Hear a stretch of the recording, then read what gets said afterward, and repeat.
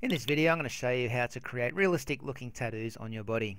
This is the finished example of what we will be creating today. You can see the tattoo has wrapped nicely around his arm, taking into account all the different contours, the veins, the shadows and the lighting. Okay, we did originally start with a picture like this. We found a tattoo online and that's what we ended up wrapping around his arm to come up with the finished product. So let's get into Photoshop and get started by opening up this picture of the man's body and also a picture of the tattoo. Okay. From here we're going to start with the picture of the man and we're going to make a selection of his arm just up the top here where we want the tattoo to go. So the tool we need to use is the quick selection tool and I'm going to simply click and drag from his shoulder down towards his elbow and that's going to make a selection all around here. I'm just going to go a little bit further into that gap there so I get a bit more of his shoulder Okay, so once you've got a selection like that, it's basically where the sleeve of a tattoo would go. We need to save that selection. So we go up to the select menu and right down to the bottom we choose save selection. And the name you want to give this selection is called arm and we'll click on OK. We're finished with that selection now so you can go to select and deselect or just press Control D for the shortcut. And over in our layers panel now to the right, we're going to make a copy of this layer. The quick way to do that is press Ctrl J. When you press Ctrl J, you'll see that layer 1 appears above your background. And this layer here is what we're going to use to create a displacement map. Now, a displacement map is going to help us wrap the tattoo around his arm. And they usually work best if they're blurred a little bit. So let's go up to our filter menu. And we're going to go down to blur and choose Gaussian blur and we're going to change the radius to 3 pixels and click OK. You can see that our image becomes slightly blurred. Once it is blurred, we need to save that image by going to File and Save As. I'm going to save mine on my desktop. You can save yours in your account though. Make sure you save it somewhere where you will remember it and you won't lose it because we will be coming back to it later in the tutorial. I want you to give it the name displacement and leave it as a PSD file and just click Save. Okay, I already had a copy of that, so I'll just replace it. If this box comes up, click OK. Alrighty, we're finished with that blurred layer now, so you can go down the bottom of your layers panel and just trash that layer, so we'll be left with just the background again. We're going to pop over to our tattoo picture now. I'm going to press Control 0 just to zoom in a bit. what we want to do is make a selection of just the black areas in this picture. We don't want the white background. We need to separate the black from the white background. So I'm going to go over to my selection tools and use the magic wand tool. Okay, I'm going to make sure that my size, oh, tolerance doesn't really matter here. I might set it to about 5 pixels. I'm going to leave anti-alias checked and I'm going to uncheck contiguous.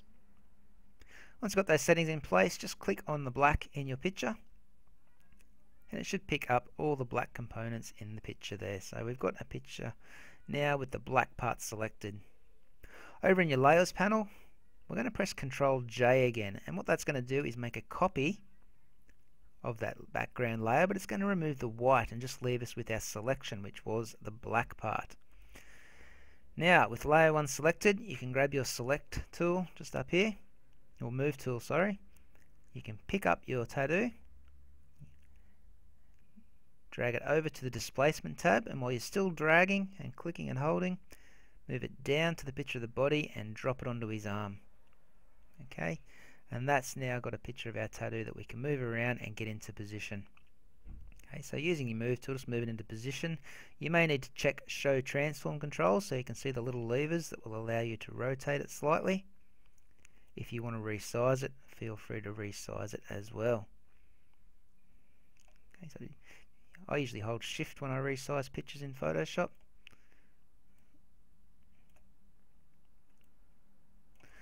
Okay, and when you're all done, one's just a little bit laggy at the moment. Move it into the final position you want it, so there's good for me. Make sure you have a little bit overlapping off the edges, that's fine, because we're going to get rid of those bits in a moment.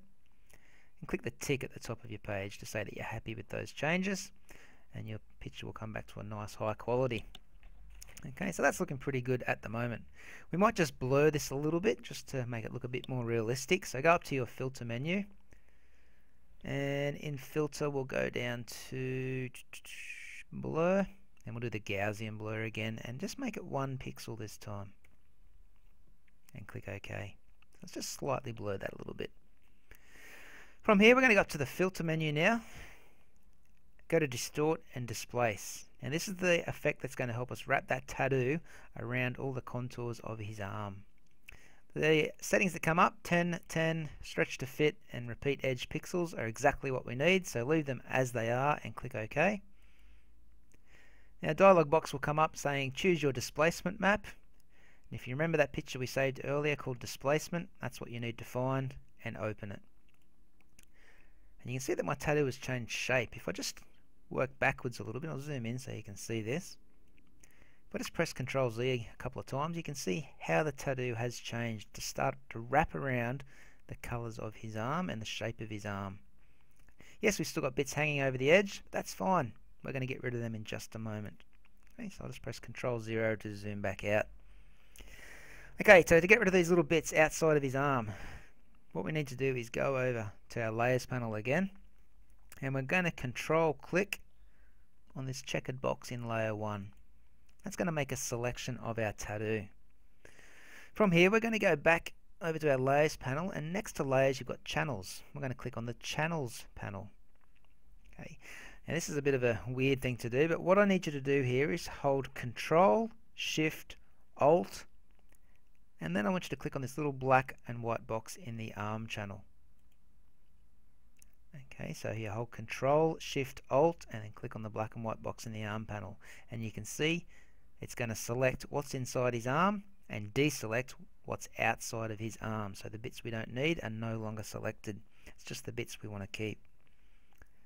Okay, so go back to your Layers panel now. And what we're going to do is go down the bottom of that panel and there's a little rectangle with a circle inside it.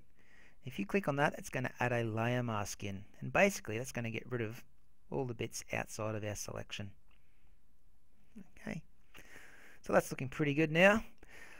Let's um, blend our tattoo into the skin a bit better by changing its blend mode. So still clicked on layer 1 here.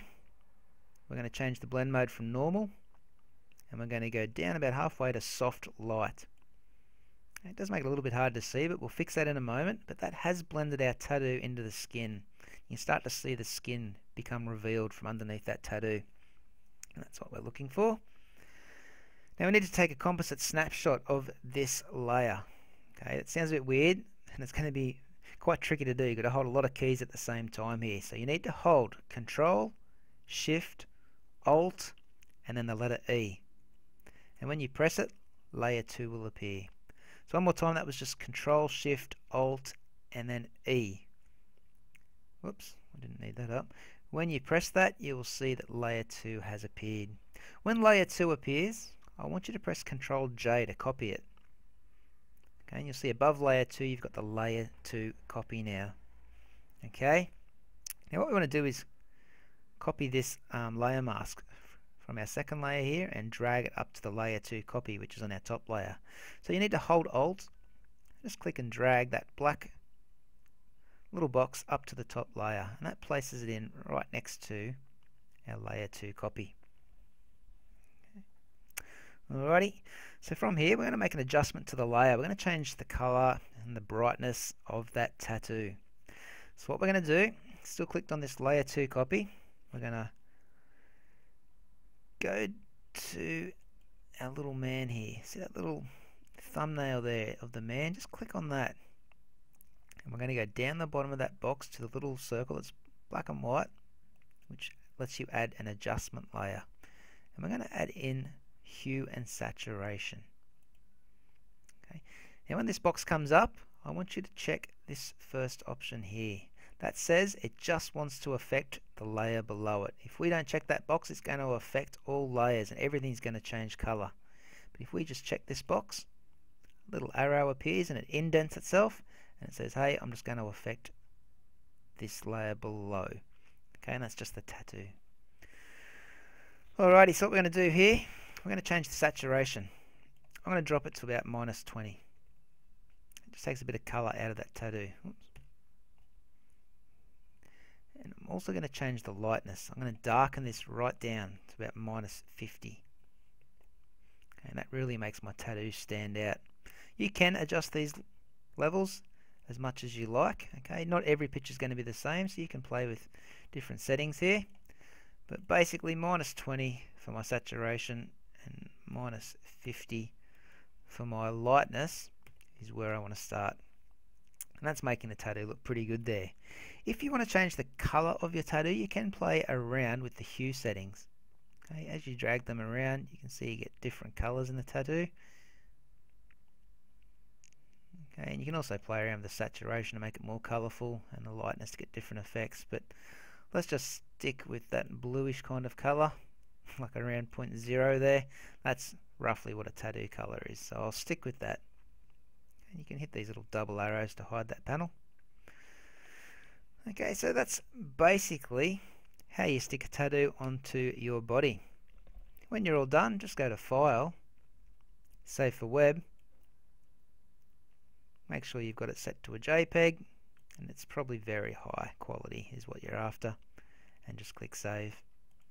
Okay, try it with different parts of your body and see if you can get some other things like text maybe written across your body um, you could go for some different tattoo shapes. You just have to go to Google Images and look up different tattoo um, shapes and bring them into Photoshop and work with them as you please. Alrighty, so have fun.